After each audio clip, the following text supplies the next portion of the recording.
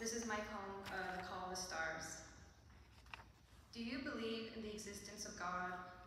Do you fabricate towers of nebulas in the recesses of your mind, creating spectacles of flesh and flame, exploring the blueprints of the biological mind? Do you hear the song of the stars and see their native signs on the comet's tail, witnessing the coming of the earth shine, unveiling the gleaming eye of Mother Moon? Do you wonder who constructed the earth, who cradled its bones, changed its blood into water? Or do you wish that the human race could rise and become gods? Thank you.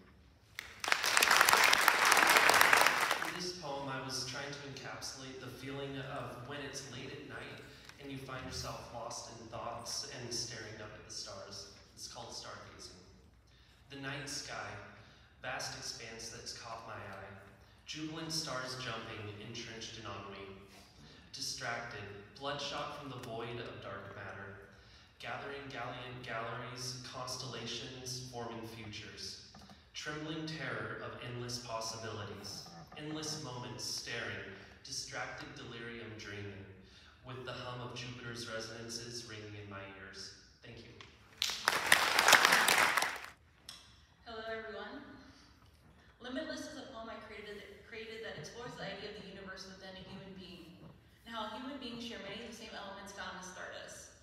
This led to a journey of finding humanity in the celestial. Taking in the context of the setting and the reading, I wanted to include the irony of the universe creating a grand performance where no sound is produced.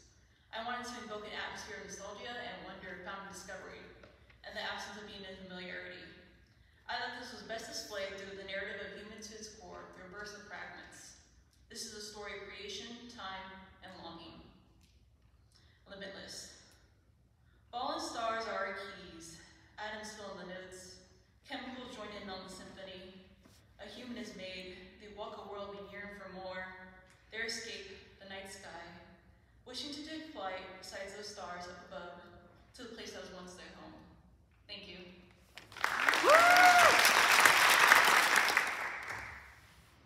Uh, first of all, I just want to say that all of the poets you read are amazing. I'm just consistently in awe of the amazing talent that exists in Fresno, and I'm really glad to be in Fresno and in the Valley. Um, this poem is about how small the universe can make you feel, but how comforting it can be sometimes to look up at something so much bigger than yourself and to feel like maybe it's looking back at you.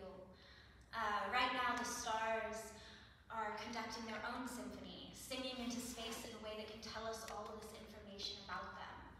Through their voices, the stars are telling us secrets right now. Uh, this is the, in the instance of life. You never find the edge of infinity, the point where explosion ceases. I want like a black hole some days, like the mouth of the universe, pulling itself in, devouring its own tail, scale by scale. Did you know the stars sing? You can hear them on a clear night, resonant, breathing deep into the cold, dark everything.